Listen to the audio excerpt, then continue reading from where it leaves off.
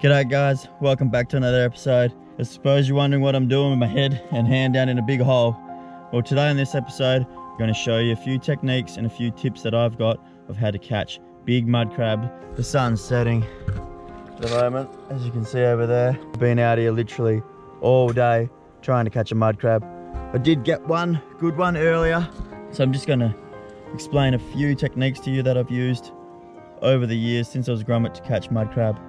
One being scooping. It's quite easy. The idea is to just go up to mostly swimmers or big muddies and put your put your net underneath it and quickly scoop up because as soon as they touch that net they will try and swim away or get away or do whatever they can to to get out of it. Personally, the best time I've found to go and scoop and look for crabs is incoming or outgoing tides, normally at night time. The crabs sort of look for a free ride in and out of the system to feed, breed, whatever they do, and you can normally scoop a few up.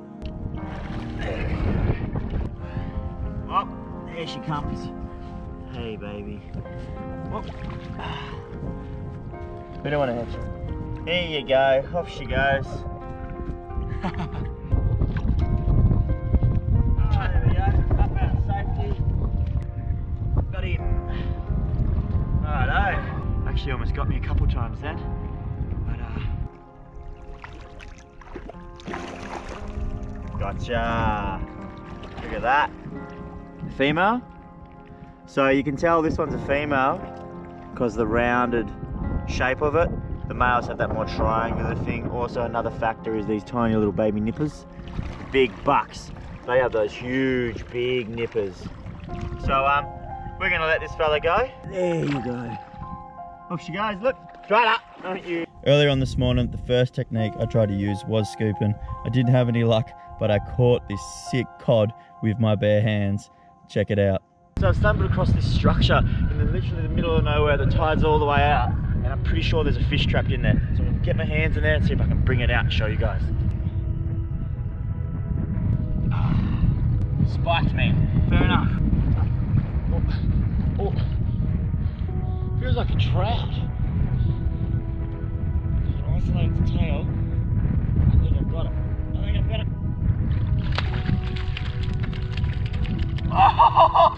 whoa! I just got a cod with my hands. Look at that. Oh, I've never done that before. What a beautiful fish. Just got his own little cave here. I'm gonna put him back in there.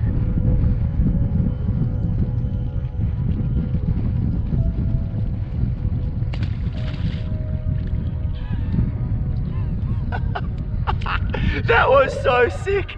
How good was that? Wow. Who would have thought there's a cod in there? Like in the middle of nowhere, absolutely in the middle of nowhere, there's a big cod sitting in there. That's his home. Please, if everyone else knows where this, this is, just leave him there. Do not come and take him. I got so sidetracked from the real quest of teaching you guys how to catch a mud crab. So another method of catching mud crabs is using your hands. So along these mangroves here, you can look for like logs, empty logs, overturned logs, mud crab holes.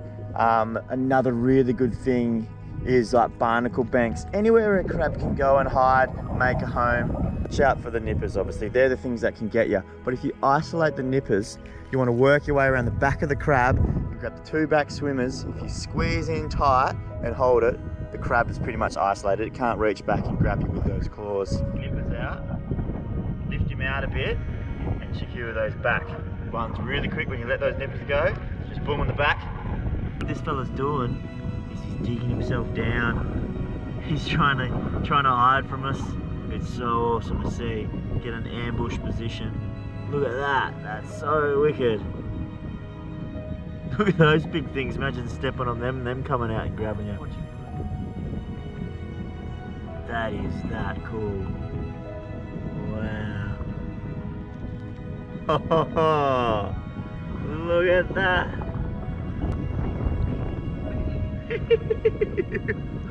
oh, he's almost gone. A mud crab den. Oh. That's definitely a crab home. So, it is a bit of luck when you're finding crabs. You can go to the right places and sometimes you can just get none. Well, where I'm from anyway, Hello. So in a place like this where it's really hard to see any any signs of mud crab, the best thing to look for is see this this murky, muddy water. That's the best sign that there is a hole around. So if you keep your eyes, try and try and see that, and you should be able to find a hole. Which is right amongst the roots. This is the best spot probably to find a crab. No crabs, unfortunately, with this uh, technique today. There you go.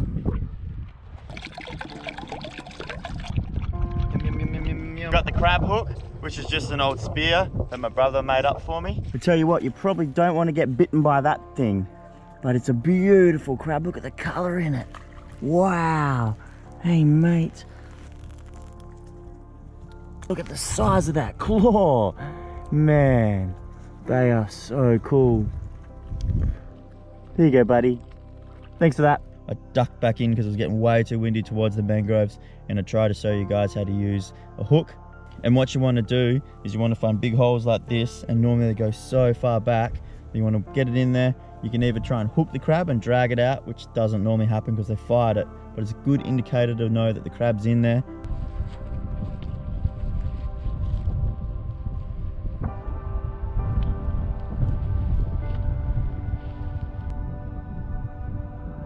There's definitely one in there.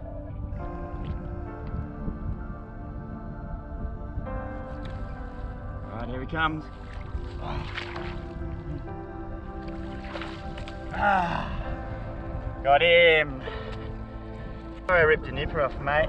Unfortunately, I ripped his nipper off, but he almost he almost nailed me with this. I felt him like wrap around like there. You see this little nipper here? That's what happens when they lose their nipper. They slowly regenerate a new one. So it, it can be done.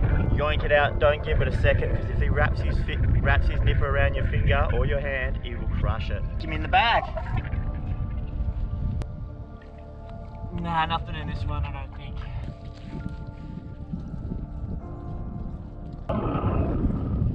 Well, I'm buggered, hey, it's so hot at the moment. Another method, which is probably my favorite, is just using your bare hands. You can either get in a hole, grab the crab quickly, feel around in there. Episode one, the first catch and cook episode we ever did, we got a big mud crab on the oyster stack. Check out the footage. Look, she pointed it out. See underneath.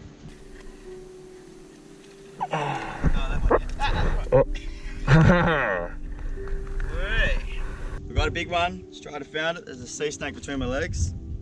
That's big muddy. Strider actually found it underneath an oyster stack and we grabbed it. So last option. Oh jeez. The last option that we sort of use, and I'm not really a huge fan of it, is um, crab pots or crab nets. So what you want to do is you just want to get the smelliest, rankest bit of bait. I use cable ties to put on. You can use anything you really want to skewer it. Find a good spot, chuck it out, wait, depending on your bait, half an hour, and hopefully a mud crab will crawl in there and you can wind it in. There's no one home in this hole here, so we're gonna keep moving on. We're gonna go check that pot that I threw in earlier on today.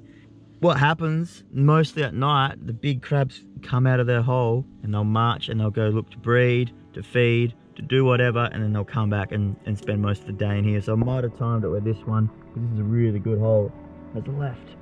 I'll show you a bit about what you want to look for in a mud crab hole. One good indicator is obviously the murky water. Another thing is when you actually get your hand in there, you can feel that the crab, crab has actually like groomed the whole cave and he's been in there working away.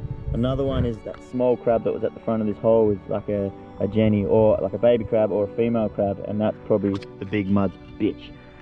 Ah, alright. Well, Man, it's been a big day. It's getting late. I'm actually meant to be at my brother's house right now. He's throwing a birthday party for me.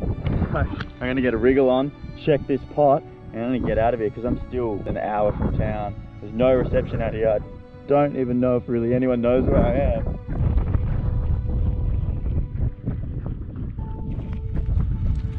Whoa. This fella, I just literally found him in the middle of nowhere. He must have been come up, up, and he's straight up. Don't you go anywhere near it. He must have come up, and he's look, see, see, see, look, look, look. That's what they do. They go in all these little holes, and they'll come out somewhere, and they're looking for things to eat. Straight up, out, get out, out. So he's gone in here. I've gotta watch out. I've gotta watch out because he might stick his head out on any one of these other holes, hey. Love this shit. So good. First hole in my YBS merch ever. If you want to get some of this stuff, youngbloods.co. Go online, check it out. Cheers, guys. All right, we're just running to check this pot. Hopefully we got something in there. Ready! Come on in! Woo, woo, woo, woo, woo, woo!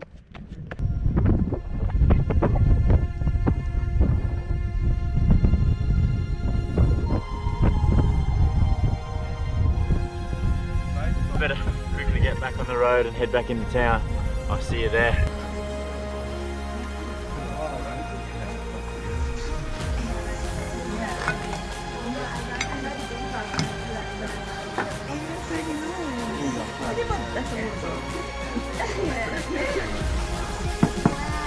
Yeah. I'm happy with put the shadow bag straight in my hand. Yeah, the whole application. Well, there you go.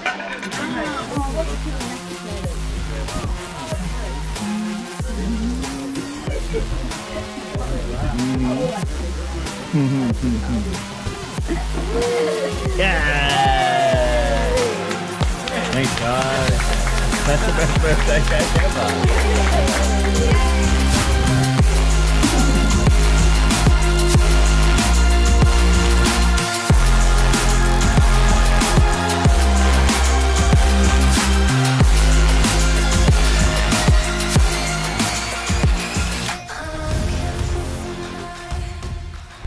I'd like to add, and it's probably the most important thing, is that you guys should be really cautious of how many crabs you take. Only take what you need. Um, I've noticed since I was a grommet to now the decline of how many mud crabs there are. Like when I was a grommet, I used to be able to walk around and nearly every hole was full of mud crab. These days, I always hear of people, oh, I went out and grabbed eight mud on you, mate. Are you kidding me? What are you gonna do with eight mud crabs? Like, one per person is probably a great amount to go and grab. Like, one crab will literally feed you or another person, no worries.